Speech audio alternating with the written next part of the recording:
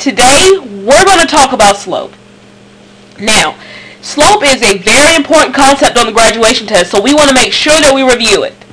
Alright, so first of all, let me talk about what slope is. The slope of a line measures the steepness of the line. Okay, you're probably already familiar with associating slope with rise over run, but just for a second, let's talk about rise and run. Where do they come from? Well, rise means how many units you move up or down from point to point. On the graph, that would be the change in the y values. Run means how far left or right you move from point to point, and on the graph, that would be the change in the x values. Now, something else that's very important about rise and run is that the direction is very important. For rise, if you're moving up, that's a positive direction. If you move down, that's a negative direction. Same thing kind of goes for run. If you run to the right, that's a positive direction. And if you run to the left, that's the negative. Now, it's very important to remember that because in a few minutes when we get ready to start finding the slope of actual lines, you need to understand that when you move up, that's positive, down, that's negative. Right, run to the right, that's positive, run to the left, that's negative. Alright, so first we're going to talk about some visuals that are going to help us with this definition. First, we have a positive slope. And when a line has a positive slope, that means from left to right, when you read it from left to right, just like you read a book, you start over here and go across the page. When you read from left to right, this line is actually going upward. Okay, so note that when a line has a positive slope, it goes up from left to right. If a line has negative slope, reading it also from left to right, left to right, this line is actually going down, which means it has a negative slope. Note that when a line has a negative slope, it goes down from left to right. A line with zero slope is a horizontal line, a line that goes straight across. Now why is it a zero slope? Because, remember, we find slope with rise over run. In this case, this one doesn't have a rise. All this line is ever going to do is run. So whenever you don't have a rise, the slope is just going to be 0. Over here, we have a straight up and down line, which is a vertical line, and its slope is undefined. Well, why is that? That's because this line will never have a run. And in order for your function or your line to have a slope, it has to have a run. As you can see, this line only goes up and down. No run at all, no left to right. So that means that we have an undefined slope. How do you find the slope of a line? Well, talked about it already a little bit. We find it by using rise over run. Now, as you can see, this line has clearly distinct points already plotted for us. They're not going to always do that for us, so the rule of thumb is, is to always just pick two points that you can clearly identify the coordinates of. For example, here we have 2, 5, we have the point 1, 3, we have the point 0, 1, we have the point negative 2, negative 3, and a whole bunch of other points. Now, What's true about finding slope is you can pick any two points on a line and find slope. And it will always be the same. It doesn't matter if they're far apart, if they're really close together, the slope will always be the same. Everybody in your classroom right now could pick their own two different points off this line, and every single person should have the exact same slope. Alright, so for example, we're going to just use, mm, let's use negative 1, negative 1, and 1, 3. Okay, so remember how we find slope? Rise over run. And make sure that we are paying attention to the direction that that's, those slopes are going in. Alright, so let's go. Here, we have this point. We're going to rise and run until we can get to this point over here. So let's start here we're going to rise, then run. See how I did that? Made like a little stair. I rise, then I run. Now, let's go ahead and count up how many units I rise. Okay, so we went up one, two, three, four units. So over here, I'm going to write, we went up four units. Now, what's that? What's important there is what direction we went in. We went up. So I want to say that we went four up. And remember, up is a positive direction. So that means that that is a positive 4. What about my run? After I finished rising here, I started to run. How many units across did I run? 1, 2. So my run is 2. And how many units did I run? 2. What direction? To the right. Now, because I ran to the right, what kind of 2 is that?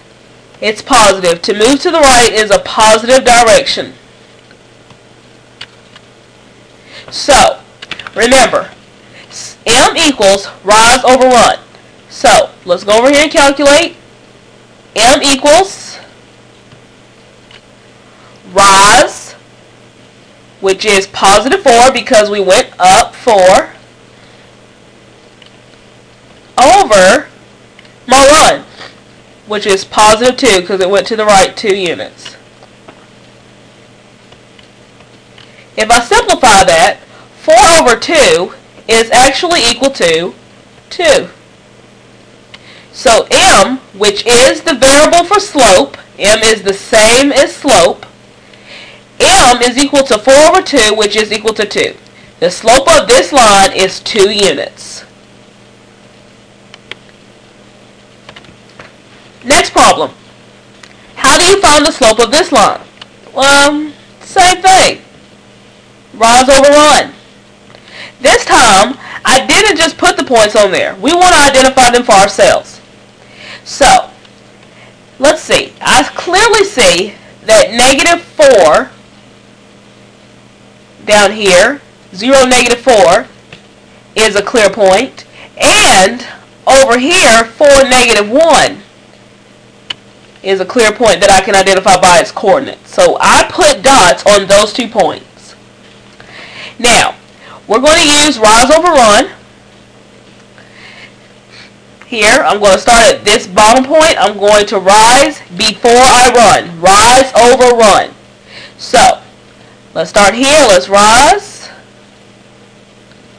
That's as far as I need to go. Then I'm going to run.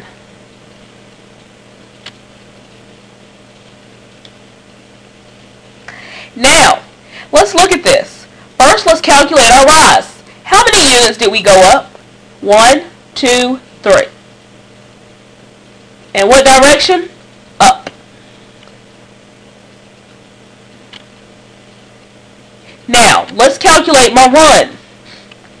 Here we started here, so I have one, two, three, four units across. And what direction did we move from our run? we went to the right.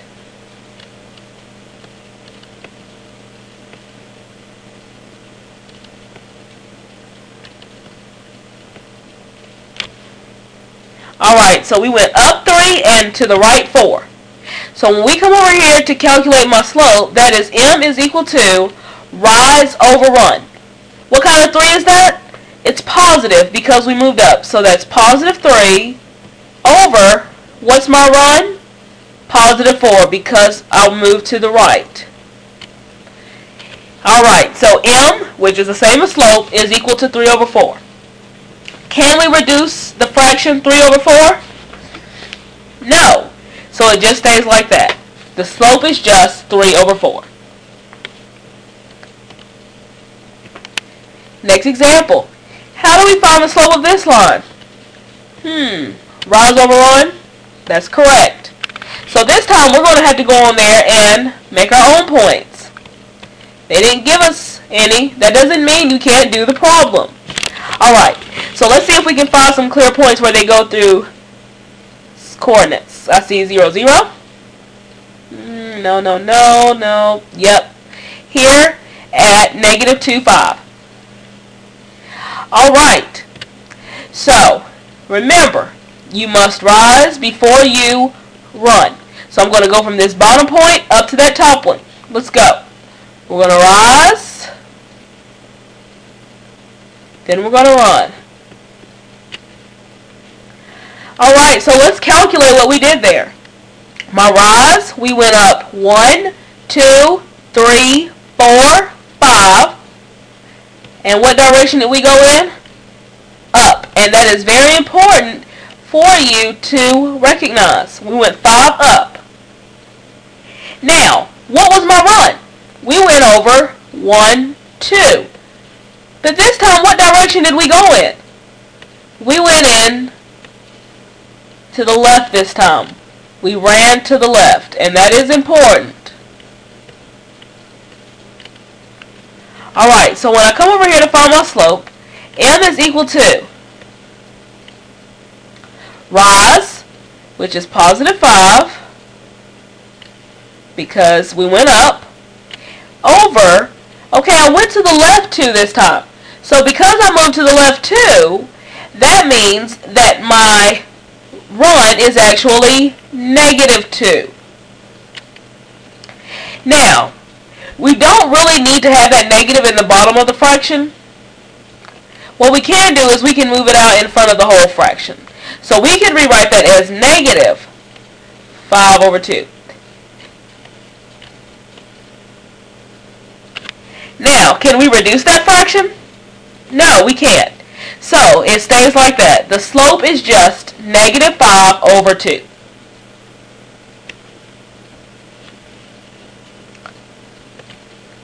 Next example. How do you find the slope of this line? Mm, rise over run. So we're going to go in here. We're going to pick two distinct points. Um, I think that I want to choose 5, 5. Not 5, 5. That is the point 5, 0. And let's choose 1, 4. Alright.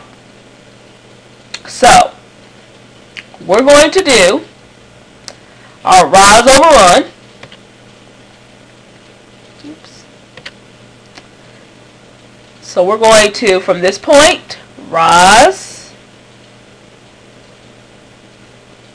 and then run.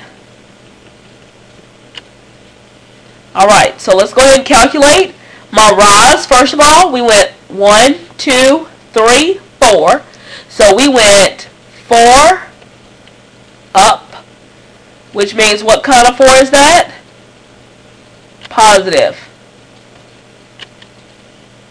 Then, let's count our run. One, two, three, four. So that is 4. In what direction did we go? To the left.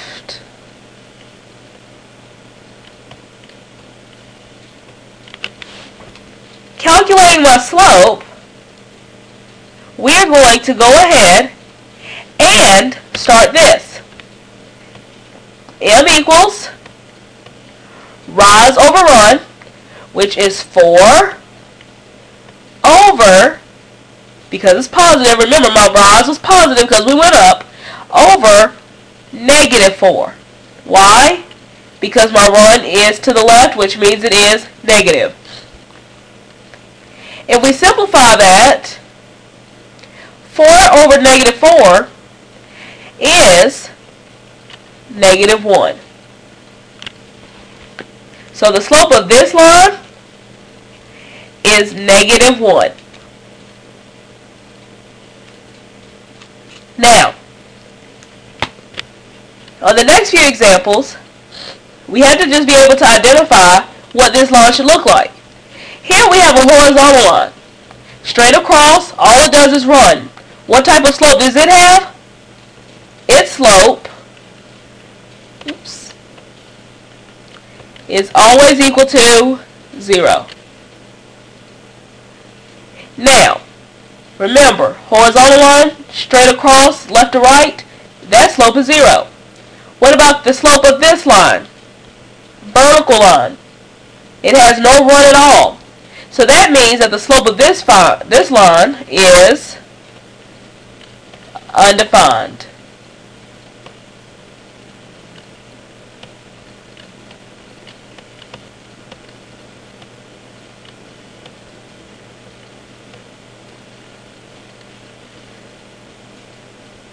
Alright, so make sure you understand rise over run, and it's also very important for you to understand the difference in the positive slope, negative slope, zero slope, and undefined slope.